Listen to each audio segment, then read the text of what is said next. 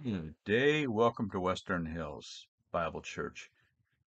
Last week, in our topic of atmospheric phenomena, we looked at events over the past 5,000 years regarding atmospheric phenomena aircraft.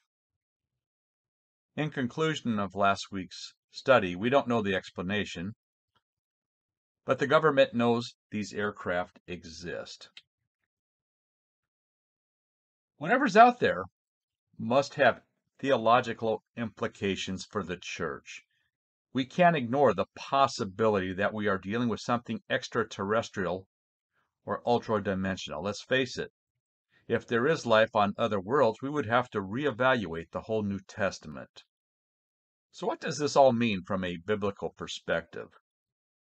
The Bible tells us that God is the creator of all things. There's nowhere you can go and not find him.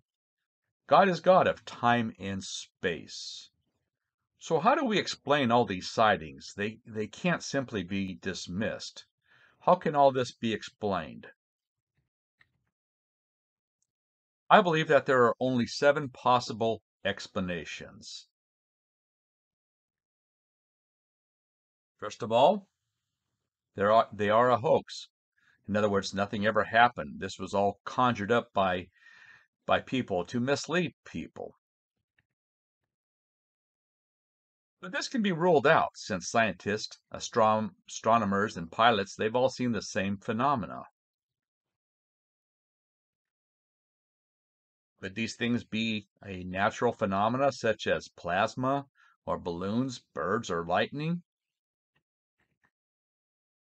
Well, this can't explain sightings by pilots and, and people who knows what flies through the skies. So we know these things are a reality. Another possibility is these things could be interplanetary. Maybe somewhere in our solar system we're being visited by people from other planets. This is refuted by the fact that giant telescopes of the skies have failed to see anything traveling interplanetary. So these vehicles are not interplanetary in our solar system. Number four, maybe they're intergalactic. Maybe these vessels are from another solar system. These are people visiting us from somewhere out there in, in another system of sorts. If that was the case, we would follow the same process and procedures of taking soil samples and investigating people. So intergalactic from outer space is a possible option. But here again, this can be refuted by the fact that giant telescopes of the skies, the Hubble telescope, eh, they fail to see anything traveling interplanetary. Fifth possibility is civilization on our own planet. It is possible that there's some places around the world that we've never investigated. It's a theory. However, there's no evidence for that. Some UFOs are seen going into water. However, there's no evidence to support anything under the oceans. There's no evidence under the crust or around the continents. Best evidence is this cannot be true either. Sixth possibility is Maybe there's some secret weapon by the US or Russia that no one's talking about. But if that was the case, someone had something in 1952 traveling at 7,000 miles an hour that was amazing. We would have both been to the moon and other planets if that was the case. So it's these things are no secret weapon. The last possibility that I think that we're dealing with is ultra-dimensional beings ultra-dimensional beings. What, what do I mean by that? Einstein's general theory of relativity and theory of gravity shows there is no distinction between, between time and space. Uh, in other words, time and space are endless. There's no beginning, no end to either. Einstein essentially provided a unified description of gravity as a geometric property of space and time, or let's say a fourth dimensional space time. Einstein's theory has astrophysical implications, which include the prediction of black holes, which are regions in space where nothing can escape them, not even light. So, what does this all mean? It means that you and I, we relate to three-dimensional environment where things uh, have length, width, and height. That's our dimension. That's where we live, this universe, three-dimensional. Yet, we know that there's at least a fourth dimension and probably more than that that we cannot see or realize. A fourth dimension can be thought of uh, as the unseen distance. The unseen distance. That would be like drawing two ordinary 3D cubes in a in a 2D uh, two-dimensional space. The unseen distance could be thought of as the unseen fourth dimension. Simply put, there are things that are in the fourth dimension that we cannot readily see.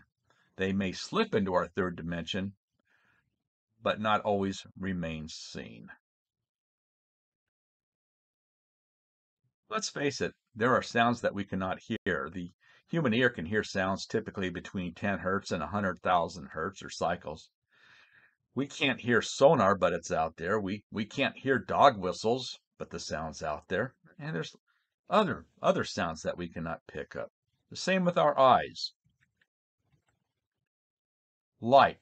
There's light we cannot see. The human eye can only see visible light. And of course, light comes in many other colors, such as radio or infrared, ultraviolet light, X-ray, gamma ray. All those lights are invisible to the naked eye. And the point I'm trying to make here is just as there are sounds and colors that we cannot see or hear, they exist. Well, the same is true with dimensions. We cannot hear or see them or understand them, but different uh, dimensions exist. I want to make a point that I think often goes unnoticed, and it's found in the book of John, John chapter 20, verses 26 through 27, which reads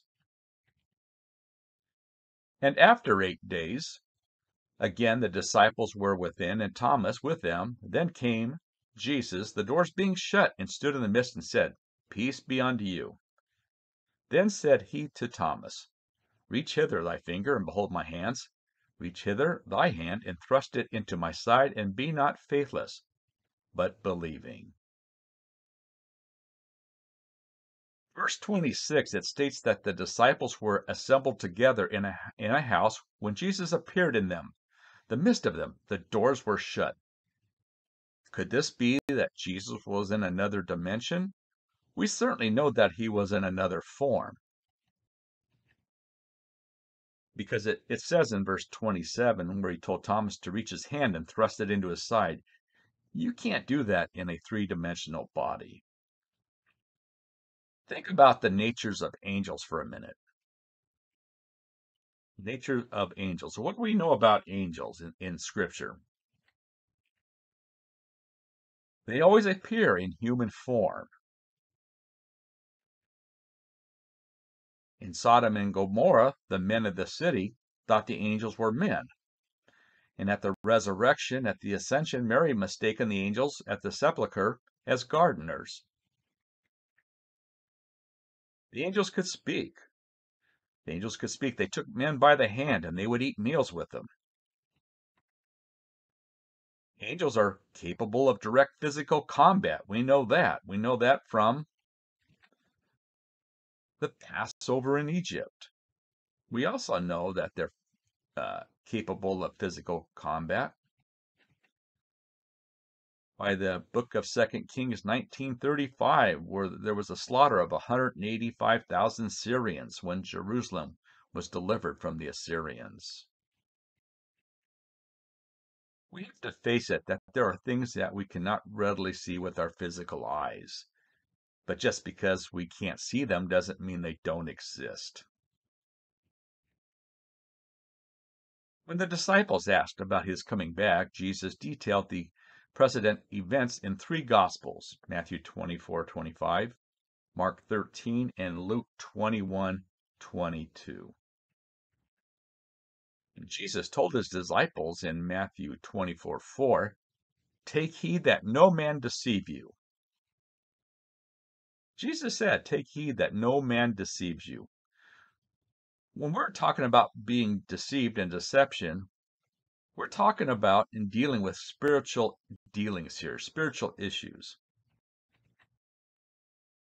Talking about spiritual matters. And we have to remember we are dealing with doctrines of devils. First Timothy 4 1 tells us in these end times there will be seducing spirits and doctrines of devils.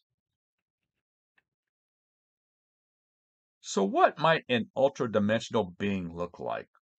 Well, first of all, we have to take seriously that these beings can coexist separately alongside our own dimension. And I suggest that they may look like angels. I'm not talking about the kind we think of with wings and halos. There are many instances in the Bible where angels appear but seemingly look human. We know that. We've already talked about that. Think of the account in Genesis where the angels appeared to Lot. They didn't appear to be angels to Lot at all. And one thing we have to remember, keep in mind when talking about angels, there are both good angels and bad angels. In Matthew 24, the disciples asked Jesus what would be the signs of his coming back, and one of those signs was that they would they were eating and drinking, marrying, and giving in marriage until the day that Noah entered the ark. We have to think what was going on back at that time. Jesus said it would be like the days of Noah. What was going on? Well, it was a wicked, evil time. We know that. There was mass partying. Genesis 6 5 tells us that. Wickedness was great. Genesis 6 5 says that the wickedness of man was great in the earth, and that every imagination of the thoughts of his heart was on evil continually. But there was something else going on. What else was going on? Genesis 6 2 says that the sons of God saw the daughters of men, that they were fair, and they took them as wives, of all which they chose. What's this all about? This is about the fallen angels coming to earth and taking daughters of men as wives. Sons of God in the Hebrew is Benahalalim, meaning angels. We're talking about angels here. Adam was a direct creation of God, and, and we are sons of Adam. But angels were direct creation of God, and this is documented in Job 1 6, Job 2 1, and Job 38 7, where the sons of God presented themselves before the Lord, and Satan was with them. So, what does this all mean? What does this mean that the sons of God saw the daughters of men, that they were fair, and took them wives, of all which they chose. So these angels took the daughters of men of wives and they procreated with them. That's what we're talking about here. We're talking about creating offspring. Their offspring is mentioned in Genesis 6 4. There were giants in, in the earth in those days, and after also that, when the sons of God came in unto the daughters of men, and they bore children to them, and the same became mighty men which were of old, men of renown. So it was wicked in those in, in, in those days of Noah. And Noah was the only one that found grace in the eyes of God. I don't believe we can imagine how wicked and how vile it was in those days. In verse 5, it, it says, The Lord saw how great man's wickedness on earth had become, and that every inclination of the thoughts of his heart was on evil all the time.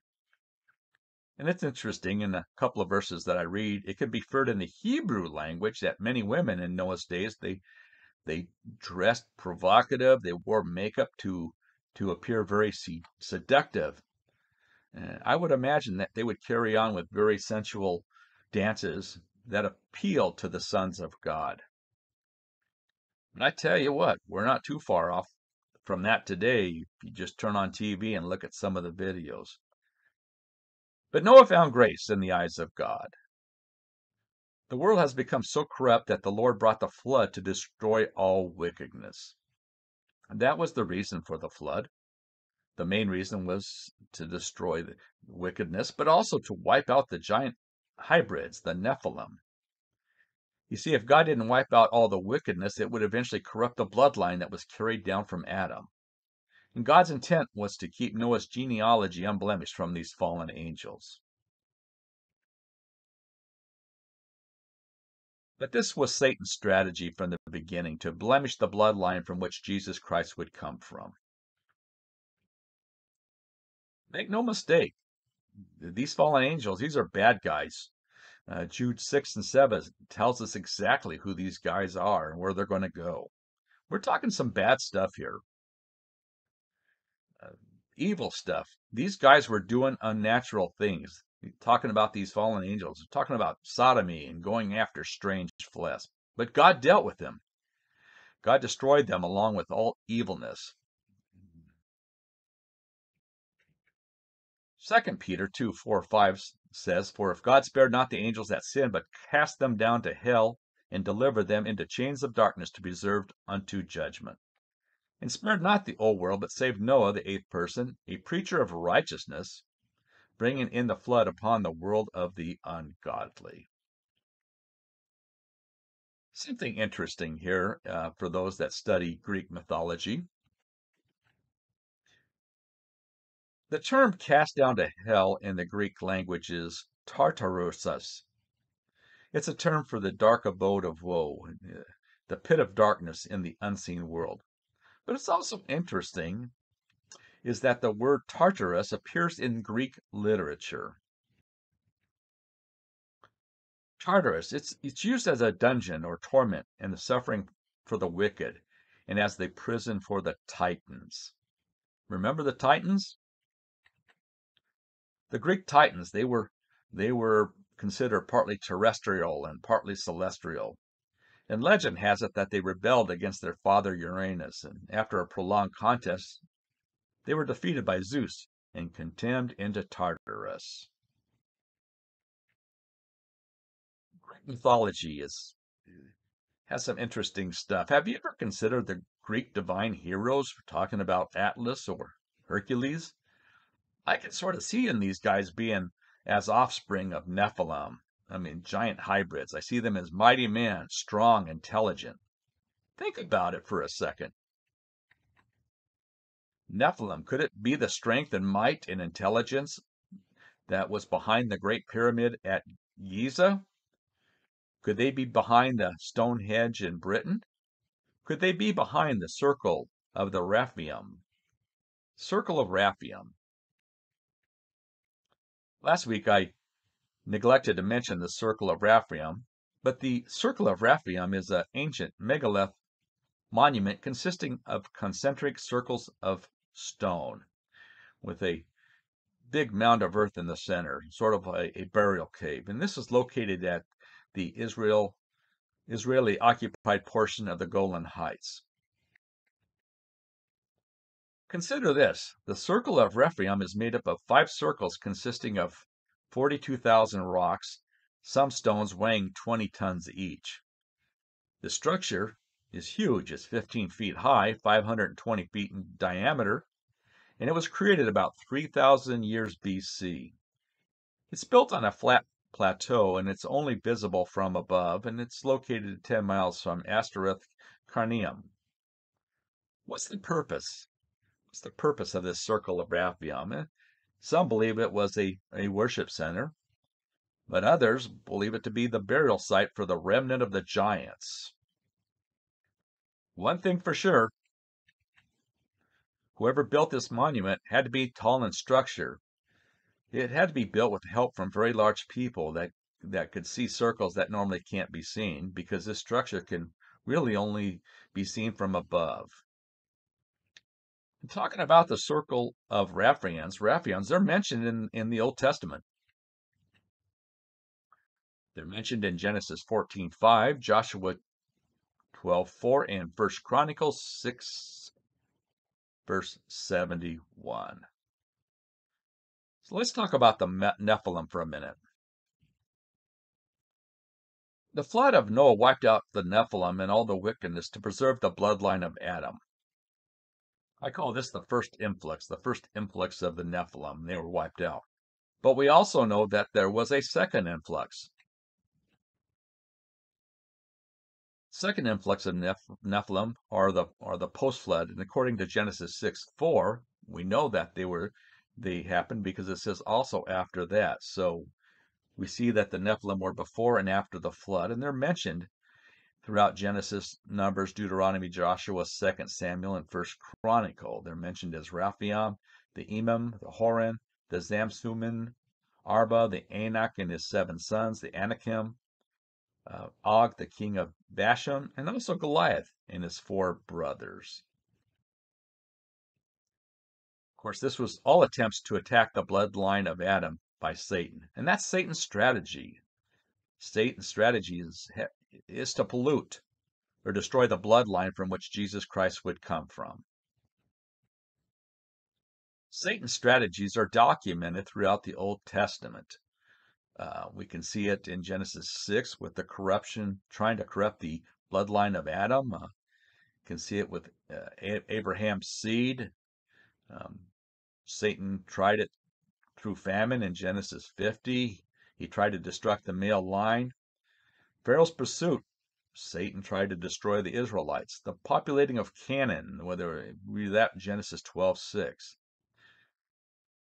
Satan tried to come against David's bloodline, 2 Samuel 7. But Satan failed to corrupt the bloodline of Adam. So what did Satan do next? He attacked the bloodline of David because David is the bloodline from which Jesus would come from. We read of that in Second Chronicles 21 and 22, Isaiah 36 and 38, and Esther 3. Bloodline of David, where uh, Jehoram kills his brothers, and the Arabians slew all. Hezekiah assaulted, and of course, Haman's attempts to wipe out the Jews. Satan's strategy has always been to destroy the royal bloodline, to wipe out the Israelites. So, so Jesus couldn't descend from them. Satan has New Testament strategies as well. We've got to recall Matthew 1, Joseph's fears, um, Herod's attempt, Matthew 2, as Herod tried to wipe out all the Israelite children at Nazareth, Luke 4, and the storms at the sea, Mark 4 and 8, and how about the cross? Satan tried to to to find victory there. But you guess what? Satan isn't finished yet. Satan used Hitler and attempted to wipe out the Jews. If you think about it, if, if Hitler wiped out the Jews in Jerusalem, prophetic prophecies couldn't take place regarding Israel. If Jerusalem was wiped out, Christ could not come back to Jerusalem as prophesied. Something else to consider. Ever wonder why there's so much tension around the Golan Heights, the Hebron and Gaza Strip? What do they all have in common? Well, these are the areas that Joshua failed to exterminate, the Rephaim. That West Bank is the same area that's in dispute today. I think I'd be remiss if I didn't talk about alien abductions. What's this all about? We've heard of numerous accounts of people being abducted, and there's uh, and there continues to be a deluge of cases reported. It's too bizarre to accept this, but it's also too frequent to consistently ignore. Oftentimes, those that have supposedly been abducted and gone under hypno- hypnosis describe such events as physical zams and such. Could it be that these aliens are preoccupied with human production? I think of Genesis 6. The late John Mack, psychologist, dealt with 76 cases where he noted he noted that there was a high degree of consistency all the stories of events seemed similar. There was also an absence of psychiatric illness. All these people that were supposedly abducted, they were all of sound mind. They were sound people. People that were abducted often had physical changes and lesions. All had some evidence of physical examination. This was these were independently witnessed by others while abductions are taking place, and there was also the involvement of small children.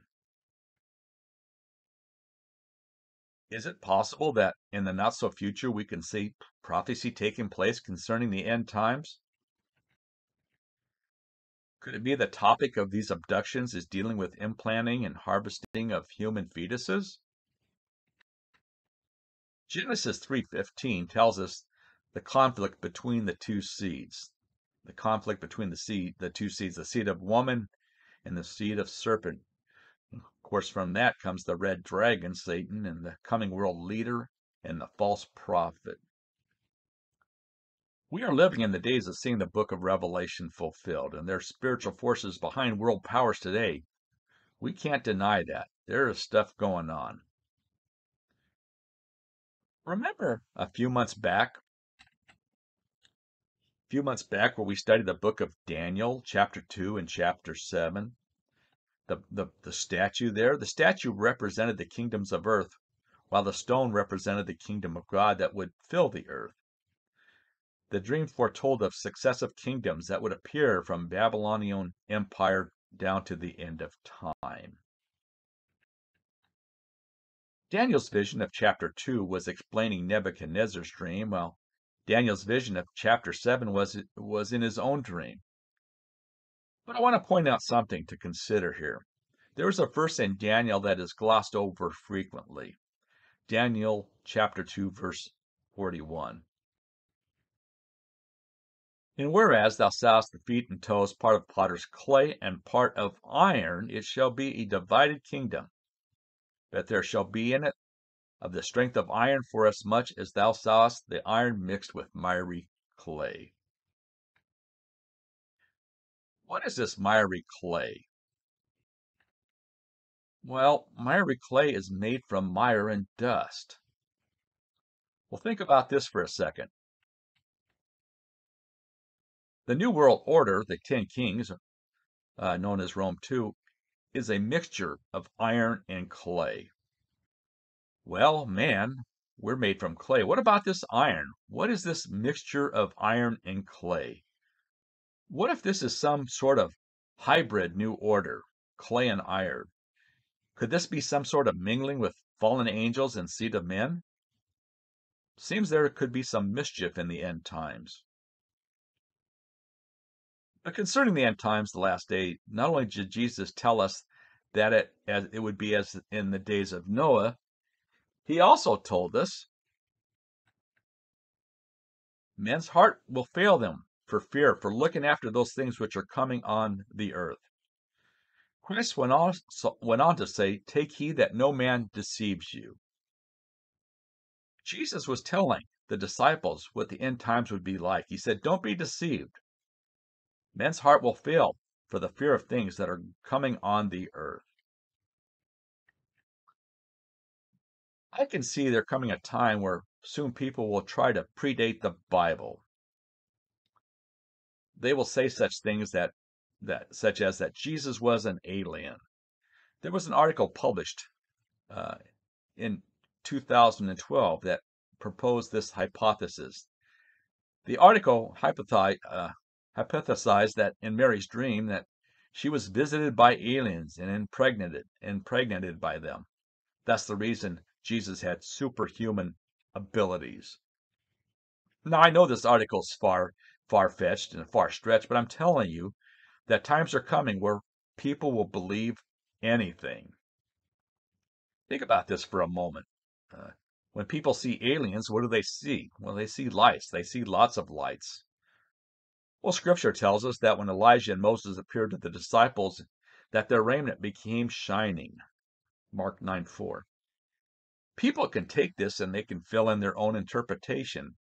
Uh, interpretation. People can explain it away, saying it was aliens. You can see how this will play out in the end times. They could take Genesis 1 1 and say aliens were sent here. We have to remember that we're living in different dimensions and we're dealing with spiritual stuff. Demons will come and try to deceive us. We're warned about that in 2 Timothy 4 3 through 5. We are told that people, people will turn from the truth and hearken to fables. Yeah, folks, there's a lot of crazy stuff going on right now. And as we get closer to the end times, we will see Antichrist make his appearance. Think about it. What's the world looking for today? The world's not looking for a theological savior. The world is looking for a technical savior. The world's looking for a technical savior, one that will appear who will solve the problems of famine, a, a savior that will solve the problems of war, a savior that will solve the problems of disease. The world today is looking for someone who will appear and create what ungenerate men want heaven on earth on their own terms. What better way for the force of darkness to reveal themselves on earth than to appear as saviors of mankind? Let's face it, the world today has embraced the occult, and the world of occult has embraced ufology.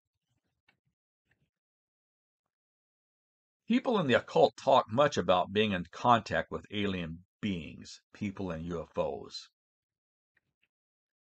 And some of these supposed encounters with aliens beings have, have said men that uh, they've told men they should not fear death as reincarnation happens and there are people living all over the cosmos, all over the universe. Planets populated by souls which have lived here and died and been reincarnated elsewhere. Does this sound familiar? There's cults that teach that out there. People who are in contact with UFOs, occupants of ship, say they talk with them about the truth of reincarnation, about universal salvation for all mankind. This should be most revealing. Seems to be a theology with the alien beings. They don't believe in God as a personal being. These these aliens, they don't believe that Jesus Christ is the only savior. They don't believe that the Bible alone is God's word to the world. They do not believe in punishment. They do not believe in the resurrection. They believe instead of reincarnation and that man himself can evolve from planet to planet to perfection. What we are dealing with is a theology opposed to Christianity. A serious evaluation needs to be considered that perhaps we are dealing with the ultra dimensional beings here. Ultra-dimensional beings who have the capacity to manifest themselves in our atmosphere and to convince anybody with signs and lying wonders who may be able to demonstrate with third and fourth dimensional graphics satisfy people on earth what took place in the past. We have to consider that's where we're we're coming to. We're coming to where UFOs and aliens try to rewrite the past. You know, think about artificial intelligence, uh, AI. There's a lot of talk about that today. And we have to consider how AI plays into this equation. Think about where AI, artificial intelligence, is today. Even Elon Musk has said that we are at a point with AI that if it gets out of its cage, we are doomed.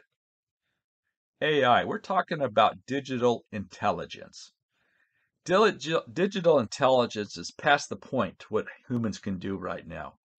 AI can write well and it can write fast. Artificial intelligence can, can now write poetry that most and many poetry writers can't compete even with poetic skill. Few understand the implications behind artificial intelligence. Essentially, we're talking about a learning machine.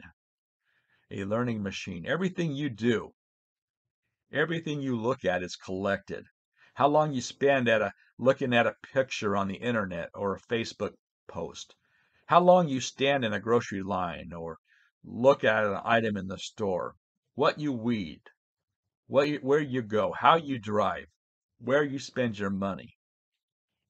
Folks have no understanding how much information is gathered on you, even by that device you hold in your hand. People spend an average of five and a half hours on their mobile phones daily. They they check their phone an average of 58 times.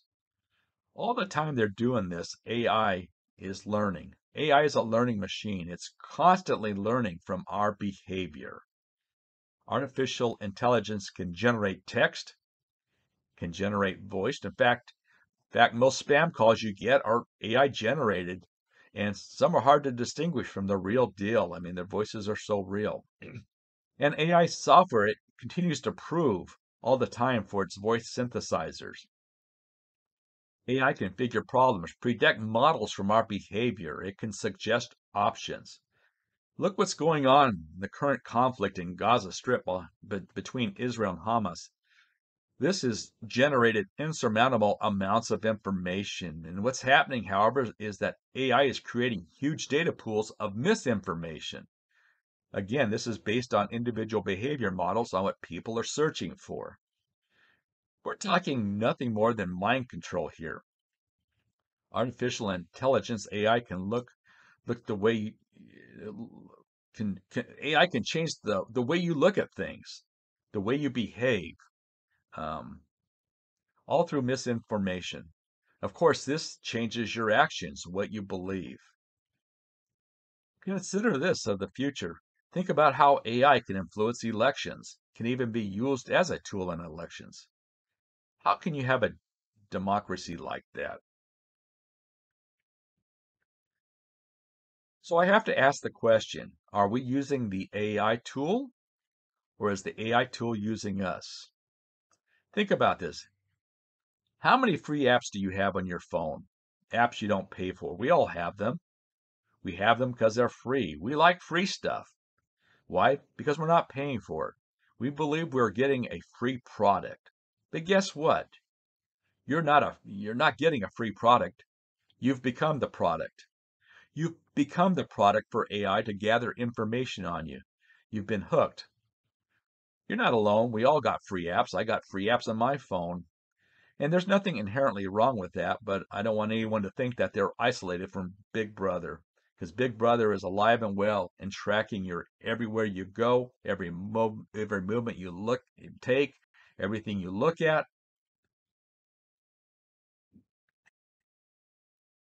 I can see where this is going. I see where we have this end time beast this world system powered by AI, artificial intelligence. Scripture tells us in Revelation 13:15 that power is given to the beast to breathe and speak.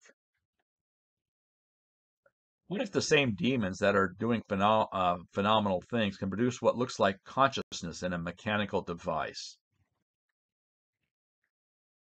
I have to believe that that's what we're dealing with here is ultra-dimensional beings.